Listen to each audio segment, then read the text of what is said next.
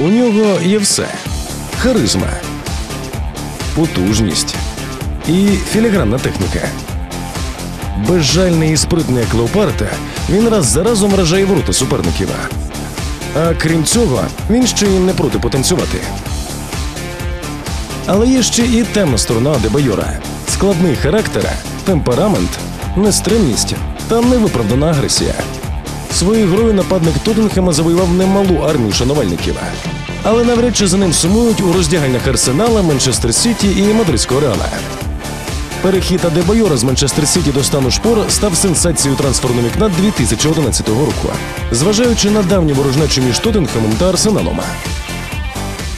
Шай Еммануеля Дебайор уже у 15 років покинув рідне того, щоб вступити до академії французького клубу Меце. У Франції йому знадобилося всього кілька матчів у молодіжному складі, щоб продемонструвати свій величезний талант. У свої 17 він став гравцем основи Меце. Далі перехід у Монако, фінал Ліги Чемпіонів у дебютному сезоні. А тоді лондонський арсенал, де Адебайор остаточно увійшов до когорти найкращих нападників Європи.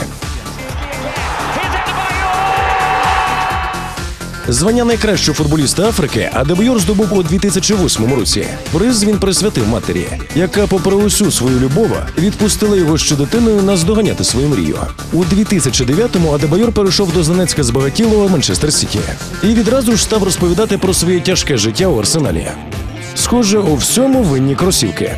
Одного разу Адебойор вголос не схвалив вибір взуття молодого нападника арсенала Ніколаса Бентнера. Після перепалки між гравцями конфлікт отримав продовження і на футбольному полі. У матчі проти Тоттенхема, коли Арсенал програвав 0-4, роздратований тоголезець вдарив головою свого молодшого партнера. Призначили внутрішнє розслідування, результат якого прикро вразив Адебойора. Керівництво арсеналу разом із тренером Арсеном Венгером стало на бікданця.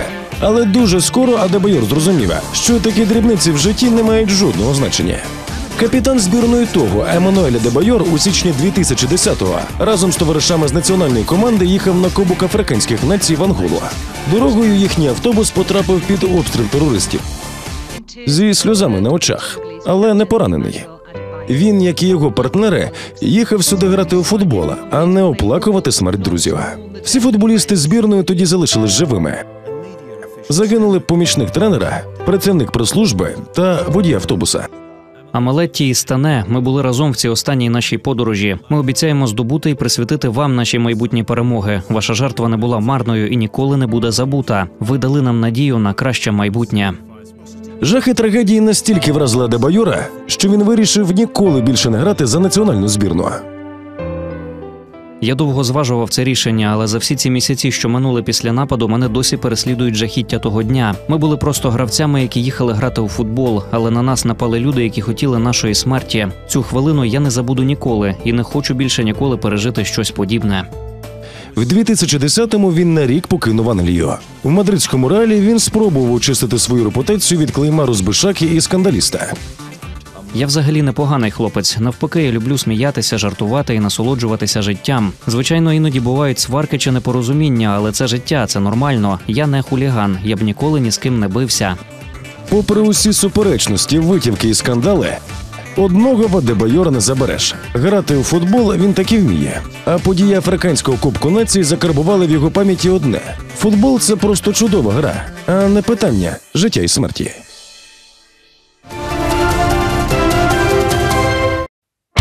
Зухвалий, безкомпромісний та жорсткий Крейг Белламі. Чудовий гравець з непоступливим характером і постійною жагою боротьби. Так характеризував валлійця Боббі Робсон, його наставник у Ньюкаслі.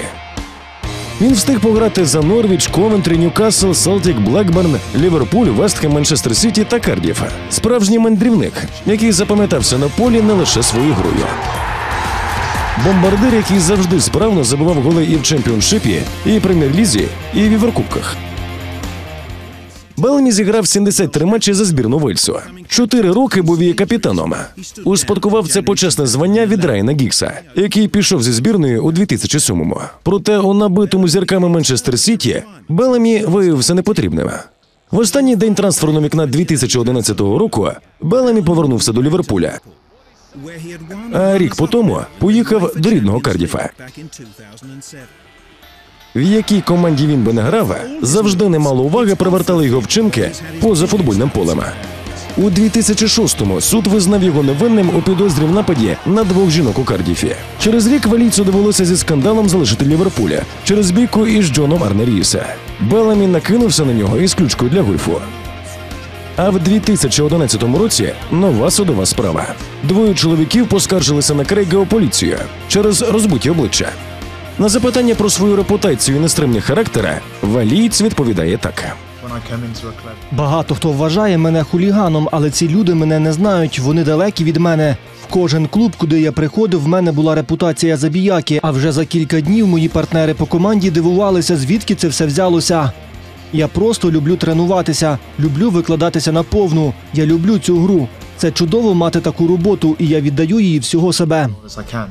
Але є і світла сторона Крейга Белемі. У 2008-му він розпочав проект з будівництва футбольної академії в розірваній громадянською війною африканській країні С'єра Леоне. Крейг особисто поїхав до Африки для продовження своєї гуманітарної програми у співпраці з ЮНІСЕФ. В дитячу академію валієць інвестував близько мільйона фунтів стерлінгів власних коштів. У 2006 році Крейг одружився з Клер Дженсені. Вона була його давнім шкільним коханням. Щаслива сім'я із трьома дітьми живе в передмісті Кардіфа. Попри поведінку Крейга на полі і поза ними, сотні тисяч фунтів, які він зібрав на благодійні програми, таки врівноважують образ розбишаки. Просто Беламі – чоловік, яким керують емоції.